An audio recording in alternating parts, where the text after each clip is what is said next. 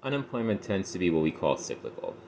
Cyclical unemployment is unemployment that exists in excess of the natural level of unemployment, or the unemployment we would expect when the economy is operating at full employment.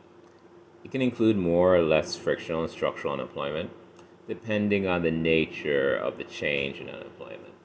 For example, if unemployment falls because of a government program to raise average levels of education, you may see a significant decrease in structural unemployment. On the other hand, a government program to make it easier for businesses with jobs to get their listings directly to people looking for work may bring down unemployment largely on the back of declining frictional unemployment. But to some extent, the cyclicality of unemployment is an, an economy related to the business cycle. What tends to happen the most in economies is that as real GDP passes a peak and declines into a trough, you will see the economy's unemployment rates start to climb. Unemployment rate changes tend to be inversely related to real GDP changes. As real GDP accelerates, you tend to see unemployment fall, but as real GDP decelerates or declines, you tend to see unemployment climb. Makes sense that a growing economy would create jobs, while a slowing or shrinking economy would do the opposite.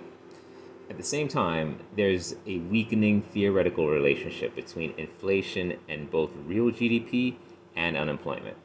Theoretically, an accelerating economy would be driven by more economic transactions, and it's possible that the number of transactions has an impact on the price level, so that more transactions would increase the price level or lead to inflation. Not only that, but if an accelerating economy creates jobs, then there's a potential mechanism for employment actually raising prices in the economy. Think about it like this workers are scarce, and the more of the labor that force that is working, the fewer people will be available to be hired.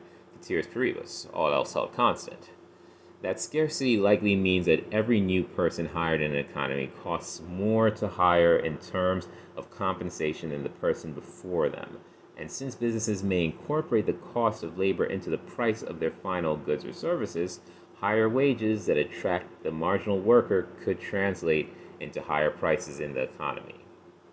All of this means that these three major variables real GDP, inflation, and unemployment likely interact with each other.